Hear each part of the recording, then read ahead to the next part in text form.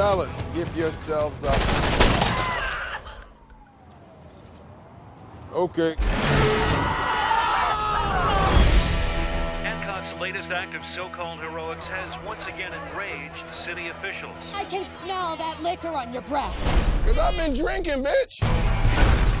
Hancock, I knew you'd come. I do public relations. People don't like you, Hancock. Oh my god. I look like I care what people think. I think you're wasting your time with this guy. Right now, there's a DA trying to figure out how to come up here and put you in jail. I say you go. Hmm? He's not gonna go. People take you for granted, you know? We gotta make people miss you. You don't move, your head going up his ass.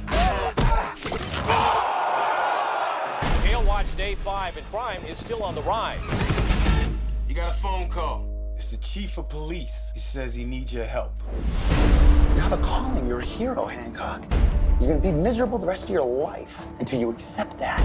Life here can be difficult for me. After all, I'm the only one of my kind. You deserve better from me. I will be better. I ain't wearing that.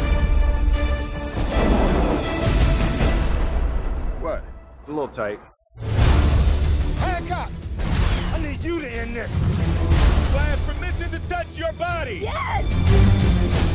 It's not sexual. Maybe on a different day. Get me out of here!